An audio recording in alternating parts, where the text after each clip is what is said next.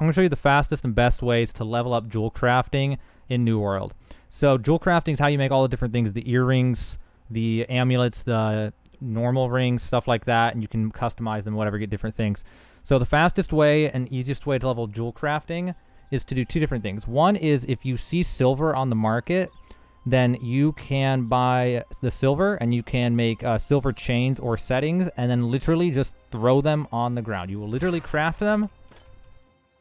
Okay, hold on. You're to literally craft these things, go into your inventory, discard. You're literally just to just, that's, that's one way to do it, okay? If, if you find the silver, generally I will pay 0.5 coins per silver ingot or cheaper than that. Anything higher than that, I, I wouldn't bother. Even then, it's kind of like if you have the money, you know what I mean? Or you can go mine silver and do that. The other way is to collect as many uh, gems as you can and start making the amulets and then just basically throwing them away.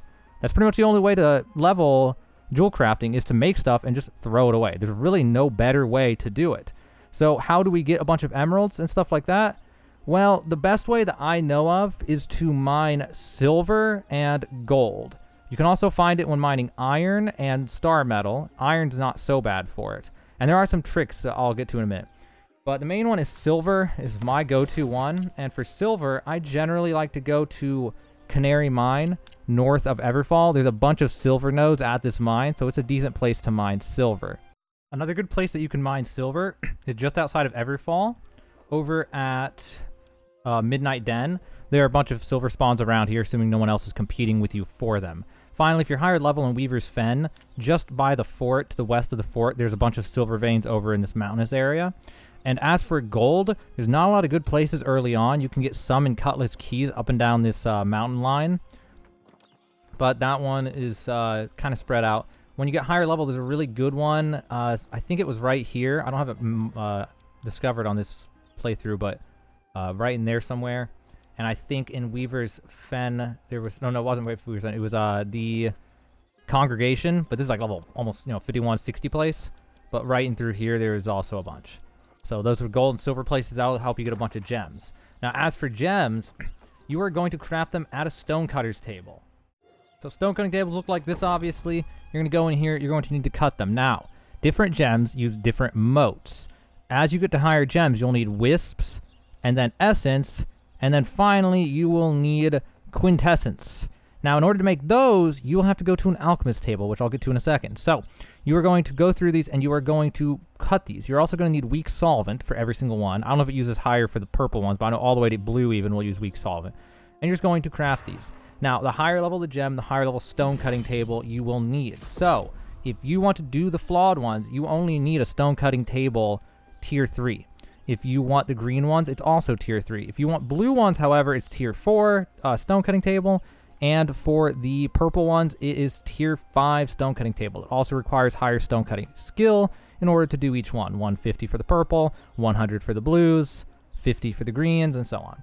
So once you have all that, I'll show you the alchemy table now for getting those wisps. So now we're at the alchemy table, or the arcane repository more specifically in this game. So in here, you can go all the way down to the bottom, and there will be Wisps Essence, and once you're high enough level, there'll also be Quintessence. Now for these, you're going to need the motes, and the motes just scale up. It is craft up, basically. To get the motes, if you are not familiar with motes, you get them from all the different plants. When you see those like uh, plants that breathe fire, or the shock bulbs, or all those weird like plants, they give you motes. Also, there are little snails and random things that give you motes as well.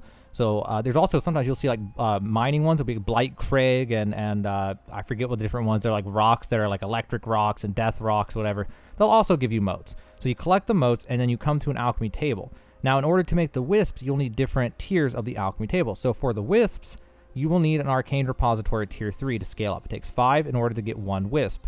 But then for the essence you need 4 of the earth wisps. So that's going to be 20 motes. 5 and then you need 4 of those so that comes to 20 motes to get one essence. For the essence, you need a repository tier 4.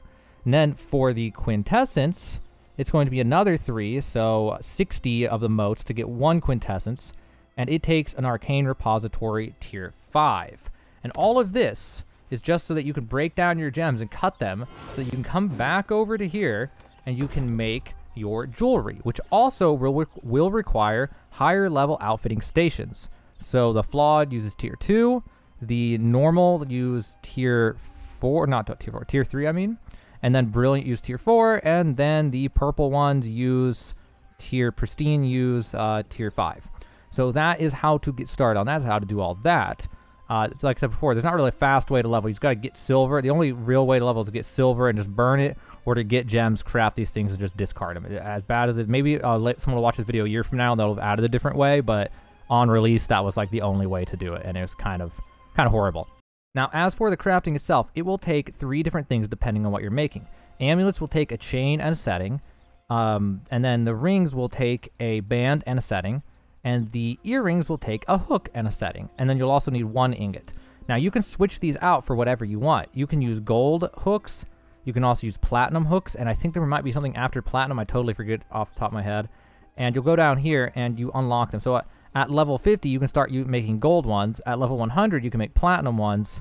And if I scroll down, maybe there'll be one down here if there's another one. I just honestly don't remember. So I'm not going to waste your time on that. There might be one more. Oh, there is. Yeah, Orichalcum, however you say it. Orichalcum. I don't know how to say it.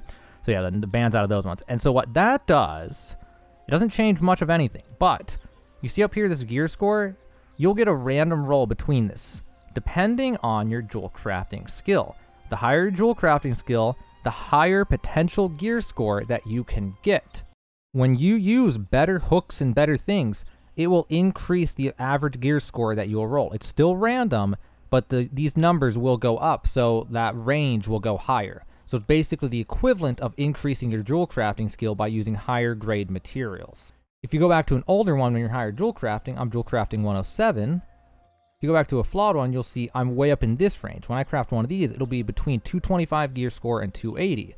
Whereas if you're just starting in jewel crafting, you may notice it's going to be between 200 and maybe 250 or so. And this will keep going all the way till it hits the high end, which for this, if I was uh, jewel crafting 200, would probably be 250 to 300 or something like that. I don't know, something along those lines. When you get a higher gear score roll, it'll also increase the required level. So if you get really high level, you won't be able to make gear anymore for your low level friends who just bought the game. Also, you can add a crafting perk in order to guarantee different attributes onto your jewelry when you craft it. Additionally, you can use Azoth to guarantee these different perks and attributes. So if you go on here, you see there's a medium chance, but if I use Azoth, now the very high chance, which as far as I can tell is a 100% chance. I've never had it not do it when I do this. So that's how you can guarantee rolls if you have the Azoth to spare. Azoth will not increase gear score, however, it will only guarantee these different slots. Finally, every single piece, every single gem has a different attribute that it will give you. So uh, Amber will give nature absorption, Ruby will get fire absorption. Jasper will get strike damage absorption. Uh, Opal is elemental damage. Onyx is physical damage, and so on and so forth. That is the same no matter what you make. And when you get the higher ones like Brilliant, all it does is increase the numbers. It does not change what it's going to do. You're not going to go to Brilliant and suddenly now it's fire instead of you know, lightning or something like that. So that's how that works. So you just pick what rings you want and I, what gems you want, and it's going to be the same. You can expect the same thing every single time, no matter what. The last thing I can think to mention here is that the different slots, you have different perks. I've noticed earrings have totally different perks they can have compared to uh, amulets, for example. So you can get earrings that give things like uh, plus 5 gear score average when armor smithing and 20% uh, cooldown reduction on using potions and just all sorts of wacky things on earrings. And then rings have their own set of different enchantments or perks they can have and same thing goes for amulets, totally different perks they can have just on the, based on the fact that it is an amulet. One other thing I'm going to mention real fast is you can break down your gems down in here. It's not really good for jewel crafting experience, but you can make this stuff called gemstone dust, which will uh, increase absorption of elemental damage types for 20 seconds or until you take damage 9 times. I don't really feel like they're that good, but in Siege Wars, you know, Siege gameplay, maybe you can find a use for them, but don't forget that they exist. As you level up, you get better ones. There's weak, then there's common, then there's strong, and then I think there's another one down here somewhere, and they increase uh, the number every time, 400%, and then the last one's going to be 500% here. It is powerful, 500% for 20 seconds. So that's the last thing. That's pretty much all that I can think to tell you about uh, jewel crafting. Hopefully this helps you. Uh, I'm doing jewel crafting for my guilds, or uh, my company, so I've been sitting here doing this. I think I know just about everything there is to know about it. If I forgot to mention anything, just ask in the questions below because it's hard to remember every single little detail when making a video. But But that is the gist of jewel crafting. Fastest ways to level it, best ways to level it, how it works, how to do all the different things, different benches you need, uh, what all it gives, and all that. Hopefully, you found this helpful. And make sure that you are subscribed to this channel if you want to keep up with these uh, New World guides. I made one about engineering. You can go try to find that. And I plan on making guides for every single crafting profession in the game over the next week, hopefully.